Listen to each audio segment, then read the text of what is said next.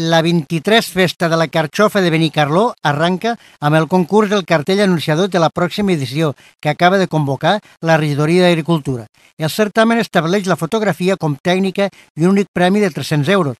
El tema obligatori que suma la inclusió de la llegenda 23 Festa de la Carxofa de Benicarló. Cada participant podrà presentar un màxim de dues fotografies en color blanc i negre, amb possibilitat de tractament digital.